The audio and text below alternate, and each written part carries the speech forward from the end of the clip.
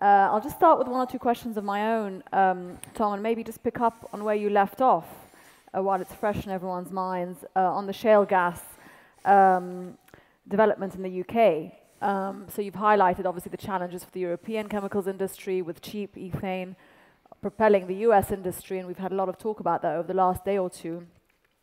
Uh, and you, you referenced at the end about the incentives to convince both those sort of communities and you know obviously the government's case to, to push for shale gas. There has been some resistance. Do you think there's a risk of it being this, this initiative from both INEOS and others campaigning for shale development in the UK being derailed? I mean, how long will that process of convincing take, do you think, and how costly is it going to be? It'll take some time. I mean, uh, to be honest, the, we, we're only at the start of a process. We're going to spend the next two years basically test drilling. Um, so we're two, at least two years away from any commercial production. So we have that window to keep working on this issue of winning hearts and minds. We've been doing that for the last two years, so we'll probably have four or five years of work sitting in small villages and, and small towns talking to people. The art for us is to start that process in the areas that need the jobs mm -hmm. and need the economic benefit most. And by coincidence, most of the old coal mining areas tend to be where the shale is. They've lost a huge amount of jobs with the decline of coal mining, and a lot of them are very welcoming of us coming in. Do you think there's any chance or any talk uh, of as you said, you outlined legally how it's structured in the US, where if you own the land, you own the mm. resources. Mm. Mm. Is there any, would the, would the UK government in any way look to change the law similarly to make this process happen quicker? Yeah, I, I don't think I they'll change the law, but we are seeing already significant change from the government. First of all, we persuaded them very early on that us giving away this 6% of essentially their money uh, was a good thing. Um, they recognized that having 94% of something was better than 100% of nothing. Um, and secondly, they have also, in addition to our initiative, launched what they're calling a shale wealth fund, where they will take a significant portion of their earnings and put that back into communities as well. So they recognize that this is an essential part of the, the plan. Okay, and I mean, as you said, it's, it's, it's a few years for this, hopefully, to materialize. And in the interim, the plan is, for example, companies like INEOS are still importing uh, ethylene, cheaper ethylene for, for their uh, facilities in, in, in Europe. Is that now fully operational in terms of projects that you're yeah. Uh, Yes, it is. The, the, ethane imports are now fully operational into both uh, Norway and to the UK. Uh, as a, the biggest, it, uh, our Norwegian cracker was running 50-50 ethane LPG. It's now 100% ethane.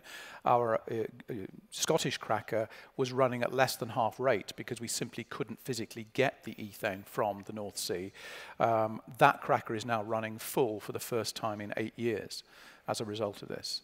Um, and we, the, the, side benefit of this is that we, we also are uh, completing a project uh, jointly with, with Graham's company and Exxon to provide some of that gas up into their cracker in Scotland as well. So there'll be a significant benefit for the industry. And any, any immediate plans for, for other projects in the pipeline? Or, or we, uh, we have a, a, lot of projects in North America at the moment, taking advantage of, of the, the benefits that we talked about, uh, just like Graham. Um, and we're also looking at downstream projects for uh, uh, our Scottish operation as a result of now having a very competitive source of ethylene. Okay, well, I'm going. Thank you, thank you very much, uh, Tom. I'm going to go to a couple of questions here. Um, let's see. okay, well, well, one just related again to shale gas, and then we'll we'll uh, we'll come to you, Graham. Uh, one of the resources for shale gas is water injection. Uh, as drinking water is projected to become more scarce, what are your thoughts on this? What's the impact on drinking water resources? I mean, water is a significant issue. There's no question, and I mean, one of the and it is one of the limiting factors in some parts of the world for shale development. I think you know in China it's proving to be a, quite a challenge. Um, it's less of a challenge in in the UK because the UK is pretty wet. Um, uh, and, and, you also have to put into context, uh, one well will use about the same amount of water as a golf course would use in a month. Um, so, so that's the, the, the, balance that we have to inject into that discussion. Okay.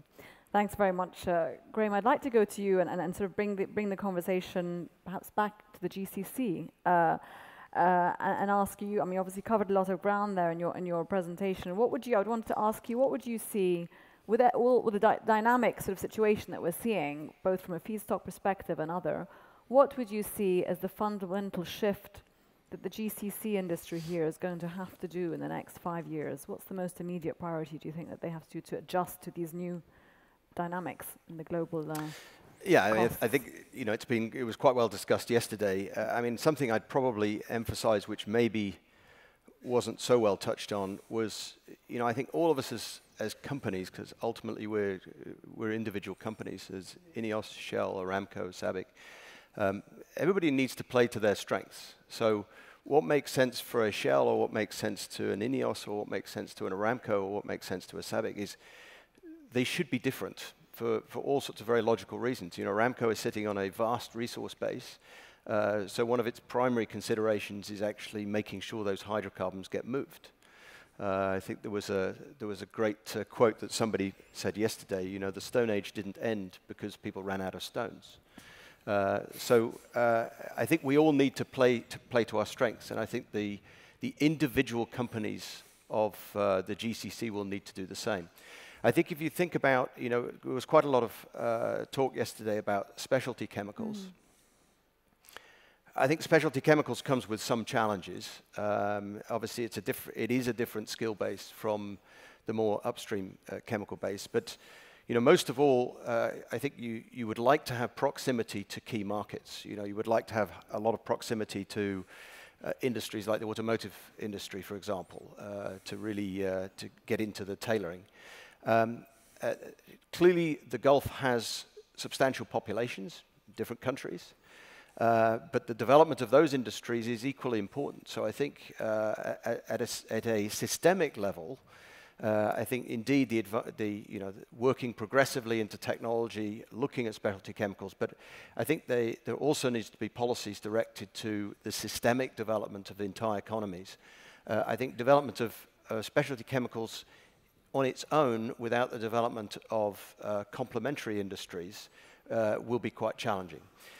I think beyond that, obviously, uh, as I think was well talked about yesterday, things like continuous improvements in productivity, uh, improving the underlying competitiveness of uh, the fixed cost base mm-hmm. is incredibly important uh, important to look at because one of the things that I hinted at in, in my speech was that you know the world is now uh, filled with uh, the Gulf and North America are, are fundamentally uh, looking at cheap variable cost but relatively expensive capital and fixed cost. And China, in contrast, is basically higher in variable cost, but it's very cheap in fixed mm. and capital. So you've got these two mm. competing systems. For us, it makes sense to basically then have a diversified portfolio. Uh, in a higher oil price environment, you will basically win more in the uh, out of the former strategy and less in, in the latter, for all the reasons Tom pointed out very well in terms of the energy consumption of a lot of, uh, of our products. But in a lower oil price environment, uh, actually the Chinese build cost is quite a quite a challenge for both mm -hmm. North America and uh, and the GCC to deal with. Okay, I'd like to ask you a bit about technology and, and the importance of that, obviously, in, in, in, all industries. I mean, Shell as a company itself has restructured dramatically in the last 15 years. It's become more of a gas company. It's obviously very, very uh, pioneering in the technology that it's, it's, it's using and developing. So how important is it to the GCC industry here to have those partnerships with companies like Shell from a technology standpoint. Um, you know, is the indigenous technology that's, that's being looked at here uh, enough, or, or are those partnerships absolutely still critical? Well, I think many, you know, many companies, I think uh, uh, Dr. Al Sadoun uh, very uh, articulately described this at the beginning of, of today uh, in the case of SABIC, uh, you know, have progressively diver diversified with a strategy to start to pick up technological capability, and I think that makes complete sense. Um, and so the codependency will shift over time. Um, I think it's easiest to speak for our own strategy. You know, our own strategy, fundamentally, we see ourselves ultimately as a technology company. Uh, the foundation of everything we do, yes, it, yes, it turns out in terms of mega projects and big assets and so on. But the, the underpinning of all of those things is ultimately technology. So for us, we see our, our long-term competitiveness coming from, from ultimately technology, regardless of where we apply that technology and how we've applied that over the past. Uh, and we will naturally seek to see uh, to seek partnerships with those for whom uh, perhaps they have less technology strength, but they bring something else, and then there's a natural uh, there's a natural fit. I think you know if if you have uh, partners who have the same strengths as you, you, it doesn't end up being a particularly excellent marriage. You need you need to have a complement uh, set of skills well, to really make here for a which good has marriage. is, is directed towards you, which is is Shell planning any new joint ventures in the GCC? Can you I mean, what well, I'm not, I'm not going to announce anything brand new as of uh, right now, uh, but I. But are there any natural synergies that you've just, you know? Oh, absolutely. Uh, I mean, uh, you know, I, I, gave the simple example in, in my speech of uh, of our collaboration with the government of Iraq, and uh, you know, I think clearly, as I think they would say themselves, you know, it, Iraq is a more challenged country, but but clearly for countries like Iraq, bringing employment to younger people is clearly a secret to uh, ultimately dealing with some of the underpinnings of social unrest. Uh, and as we all know, uh, petrochemicals and the associated development of industry uh, with petrochemicals can actually provide that employment so that young people have got something fundamentally better to do than, than obviously what uh, some of what we see in yeah. the region. And, and we're prepared to uh, spend time and energy on looking to co-develop that with them. Uh, we obviously have to manage the risk profile together. Uh, but I think it's, you know, it's extremely uh, challenging, but also an extremely rewarding thing to be involved with the development of a country which hopefully will become uh, much more peaceful in the future and will prosper. Yeah, I mean, you mentioned Iraq and, and in Iran also yesterday there was some talk about new petchem capacity, uh, uh, which is going to come out of there. Obviously now with sanctions having been lifted, not only their oil production, but, but the downstream side as well. So how, how soon would you say you, would see countries like Iraq and Iran come, come online again downstream in any significant way in this region? I mean, I'm sure it'll be quite quick. And the geopolitics. I'm sure it'll be quite quick, and they, you know, they're sitting on vast gas reserves, uh, and obviously they've been relatively constrained in that space. I think you know the thing that that everybody has to be conscious of is uh, uh, sanctions can come and go and come again. So um, obviously we see the U.S. elections, and who knows uh, uh, how Donald Trump, Trump will uh, emerge uh, in terms of his real policies. But but clearly, you always have to be conscious of uh, of the, the, the sanctions environment can. Uh, can ebb and flow, and so I think that will be a, always a concern for people seeking to invest multiple billions uh, in, in, a country like Iran. But clearly, it's got enormous uh, resources uh, and a very talented people. Okay, I have a good question up here actually on uh, shale, back to shale again. I'm not sure where it's disappeared, but I just saw it.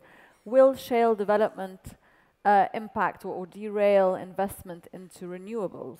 Um, I think you can possibly both comment on that, but I'll go back to you, Tom, first in terms of priorities. You know, with uh, shale being so cost effective and quick, sure.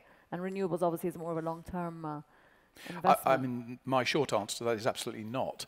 Um, I mean, I, I, wouldn't distinguish shale from conventional. It's gas, and I believe gas is essential to renewables development. Um, not only, as, as Andre, Andre, so eloquently put it at the end of his talk, uh, we're providing the basic building blocks for the renewables industry, uh, but also because it's the ideal complementary fuel.